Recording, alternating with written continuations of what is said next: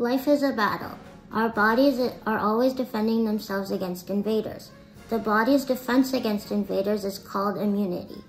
Immunity is of two types. Innate immunity is inbuilt and adaptive immunity is acquired by training.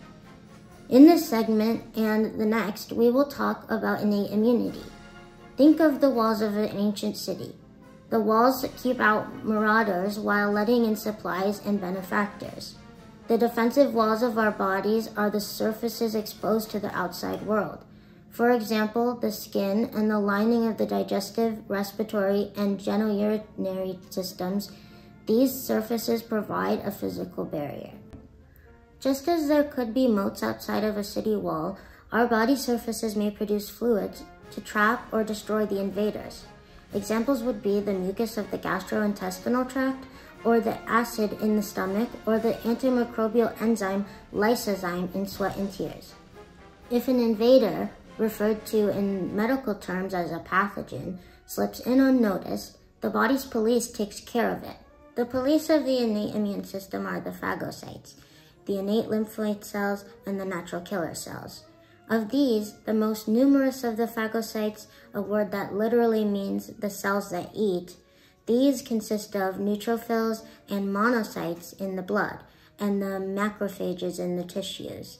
The police recognize pathogens by molecular patterns in their bodies that do not occur in human cells. These patterns are called pathogen-associated molecular patterns, or PAMPs, and the pathogens cannot mutate away from them because they are needed for infectivity. The recognition of PAMPs is accomplished by specific receptors of the cell's innate immunity. These receptors may be on the cell surface or inside the cell.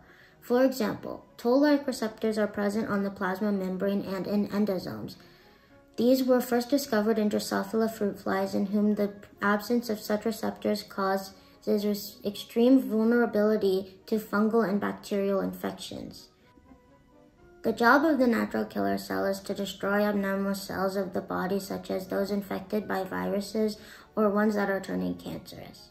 The normal cells of the body are spared by the natural killer cell because they have proteins on the surface called self-class 1 major histocompatibility complex. Infected cells and tumor cells are not able to show these proteins on the surface and are marked for annihilation. If at the site of invasion by the pathogen there is not enough police, specialized cells send out messages by releasing chemicals called cytokines that travel to various parts of the body and recruit more cells of the innate immune system. The classic example of a cytokine producing cell is the mast cell. Innate lymphoid cell mentioned previously is thought to have a similar role. There are also chemical nets sprung by the body that trap the sneaky invaders. An example of such a net within a body is the complement system an intricate system of plasma proteins that are activated in response to invading microbes. We will discuss cytokines and the complement system in the next segment, Innate Immunity Part 2. A unique type of cell present in almost all tissues is the dendritic cell. Dendritic cells connect the innate immune system with the adaptive immune system. They are non-specific killers of invaders, but they then present the remnants called antigens to the adaptive immune system for recognition and for massive and specific response to such invaders in the future.